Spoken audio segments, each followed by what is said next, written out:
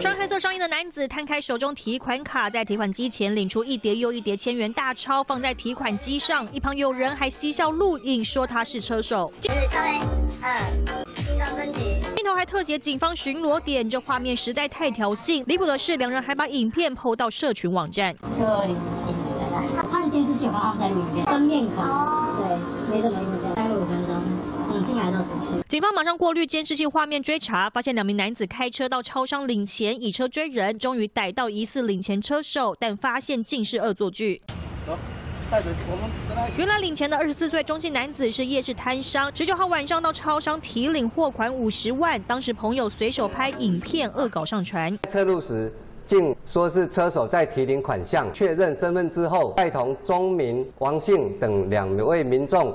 到案说明，开笑开过头，来的钱不是什么诈骗来的钱，更不是车手。过年会卖烟火，我有拿钱给我们家出一些货款，不是什么一些奇奇怪怪的钱，不要造成社会恐慌的意思，不是故意的。男子事后表示自己跟朋友玩笑开过头，但在网络散布不实讯息，两人行径已触犯社会秩序维护法，可处三万以下罚款。这回想恶搞拼流量，没有想到却害惨自己。记者台北综合报道。